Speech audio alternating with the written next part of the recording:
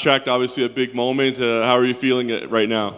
Thank you very much. I feel really good. It's my uh, biggest dream, uh, and uh, I just wanna uh, right now rest and uh, get fun after this fight. You know. And not only a contract, but earn the praise of Dana White, who was very high on you for your performance. I guess does that add something to it to hear that praise? Yes, of course, it's very uh, important for me. Uh, Dana White uh, watch my fight, and I just wanna uh, show my best performance, and I do this. is uh, uh, good for me, you know. Is walking through big high kicks is that normal for you? Is maybe not normal, but but uh, many my uh, sparring partner uh, do this because I'm short guy.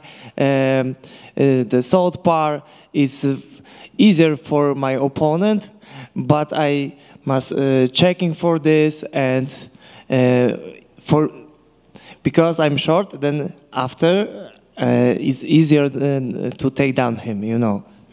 And from there, it seemed he kind of like rolled the wrong way into your choke. I guess how satisfied or what was going through your mind when it just it's right there. I see before I uh, choke him. I I only want uh, control him because uh, he just want stand up. Uh, but uh, after uh, when I choke, he put hands up, and I see this after uh, I uh, uh, feel it's close to submit him and I choke, choke him, I more choke him. Last thing for me, you got the UFC deal, so now what's the perfect scenario for your debut? Is there an opponent? Is there a date, a location of where you'd like to fight for the first time? Uh, it's not a matter for me. I uh, I'm a normal fighter. I want uh, uh, to soon get some fight with anybody. It's not problem.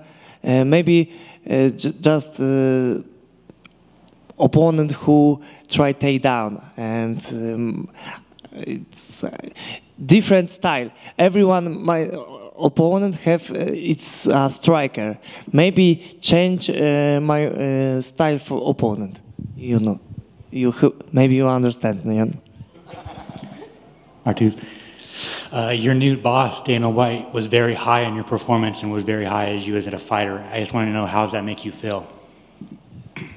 It's heard good because I'm really hard training and someone uh, see this and understand how uh, I uh, do everything to be on here and show what I can, what I do. How are you going to celebrate this win? I don't tell you.